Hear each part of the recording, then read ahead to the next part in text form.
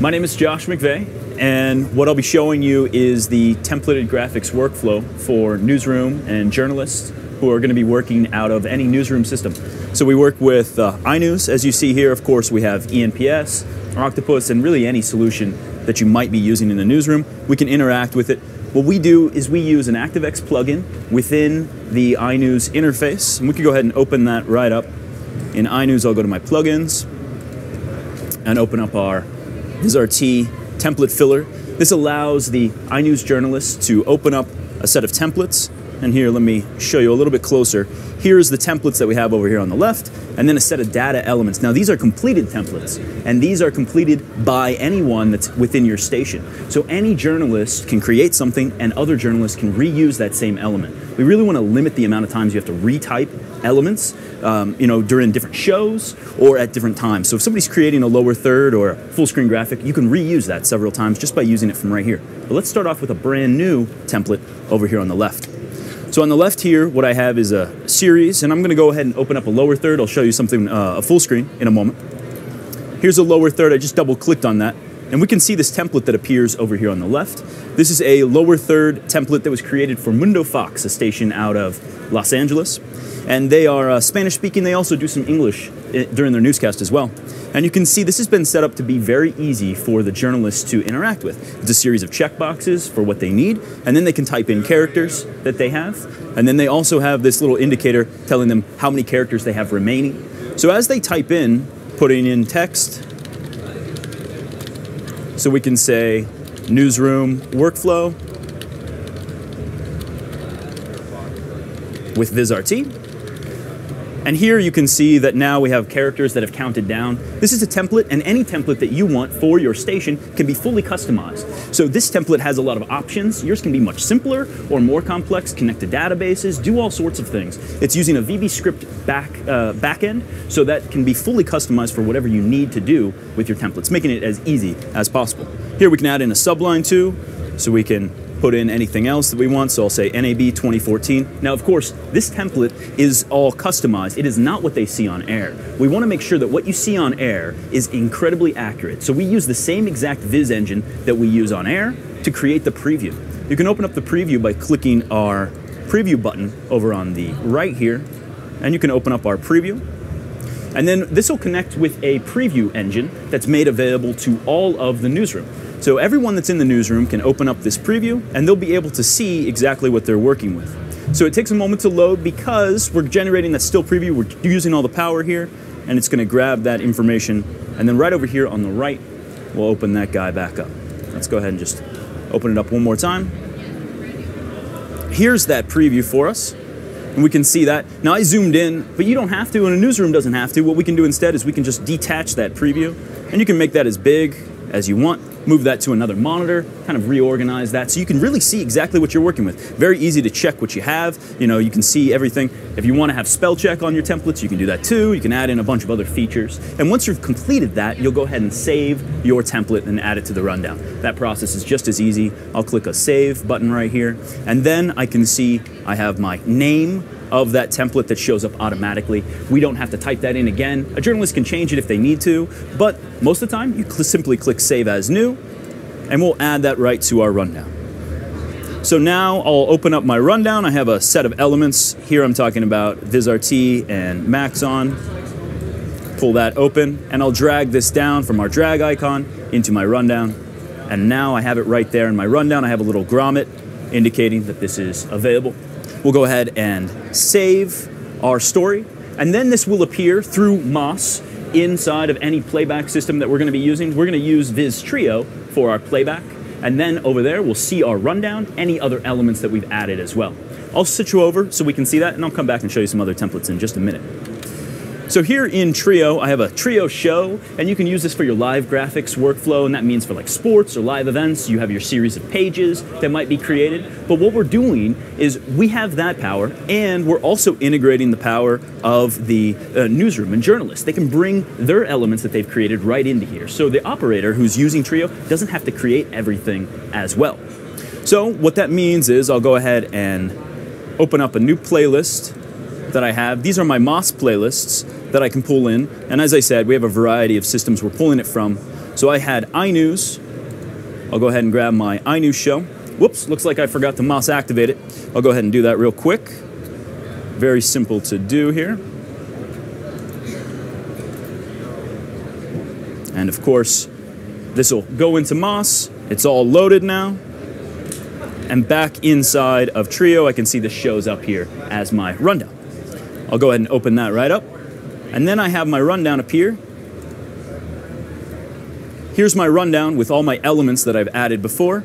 And we can also see we have our new L3 newsroom workflow with VizRT. We added that just a moment ago to our top story here. We can go ahead and open that up and preview that inside of Trio. So we see that here. And then we can actually take that right to our on-air engine. Let me bring that on so we can see what that preview is. And then we'll take that up to our engine on air up here. Go ahead and trigger that element. And here is our graphic that we created just a moment ago. Now it came right through that quick. And we can add a series of other elements when you float stories or move them around inside of the inside of the newsroom system. They'll float and move right here as well. So this responds completely to what you're doing in iNews or ENPS or any system that you're using. So you can move things and have it change. You know, with the with the newsroom workflow, it's sometimes linear, you sometimes have it scripted, but you also have to leave the scripted often for interview type situations or breaking news, and it makes it very easy to do that when you're using Trio as your playback tool. We also use Viz Pilot as our playback tool as well. So with those, now I want to show you a couple other templates and another thing that's very important about our newsroom workflow. Back in our plugin here, we can of course open up anything that has imagery, and we can pull in images from our OMS. So this is another template that I have. This has a get image icon right here. We can go ahead and click on that and open it up to pull in any image that we might want. So I can search for different images that I want in here. So I have an image of a football field, American football. And this is coming from Viz1 as it indicates. That's storing all our imagery and also clips, which I'll show you in a moment. So here then I can go ahead and select that, click OK. And then whenever I want to preview this, it'll show up with that element in our preview. That image has been scaled down to fit within the frame that Mundo Fox wanted set up. We could add a header and everything too, but I'm going to go ahead and save that to my rundown, and I'll move on to show you the next thing. Go ahead and save this and place that in our rundown along with our other story.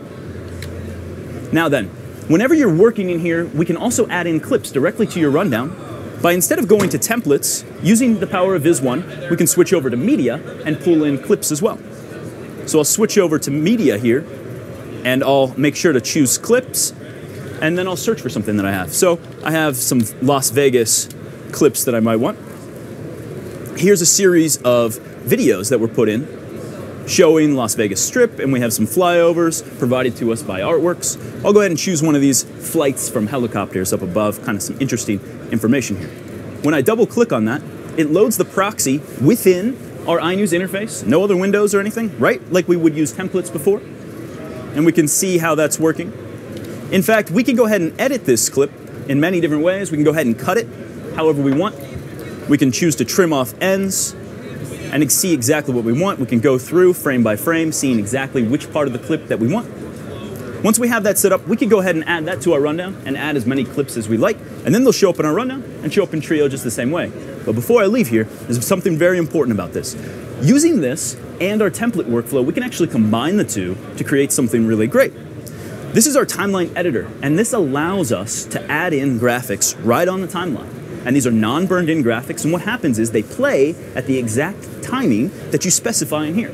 So your journalist can interact with your clip choose which parts they want, add graphics, and then whenever it gets into the control room to play out in Trio, it plays out the whole package. Everything that's there, including the graphics, all timed out already. You don't have to wait for triggers or anything, it happens all at the right time. So what I can do is click this plus here, and I can add in any templated graphics that I had. I'll go ahead and choose a, a different graphic so you can see some different imagery here. This is a, a lower third that I have, and of course I can preview that lower third. So I'll say timeline editor, and I'll make sure to put in Viz1. So I can see my preview, of course, is updating. Once I have that all set, I'll go ahead and save this, save as new, and it adds right to my timeline here. You can see it's showing me a proxy, but let's see what it looks like for real, along with that clip playing back. Here's the timing. This is gonna come in a little bit later, about one or so seconds into that clip, and that clip has been trimmed to a specific timing. I can also change how long I want this to be so that this lower third comes in and out as I choose. Let's go ahead and expand some of this a little bit so we can see it in a little bit longer. Once I have that all set, I can go ahead and just drag this down into my rundown, just like I would use any other template. That easy. Go ahead and save this, and I'll go back to Trio, and we'll see it updated there. So it's coming over right from MOS, and it comes in very quickly. We have our field for our full screen that we added a moment ago, and we have our Las Vegas Eiffel Tower that I just added. And if we click this little arrow next to it, we can see that it has this NLE graphic that I added here. Now, one moment ago, this Las Vegas Eiffel Tower, this was not loaded. But now it's loaded on my Viz engine. And this is telling me that the Viz engine that I have connected, it's fully loaded and it's ready to play that element back. So it's 100% there. We can load all our clips and it loads it automatically. I don't have to tell it to do that. As soon as I put it into my rundown, it goes ahead and gets ready to do that. So let's go ahead and I'm going to remove our lower third that's here. Let's take that guy out.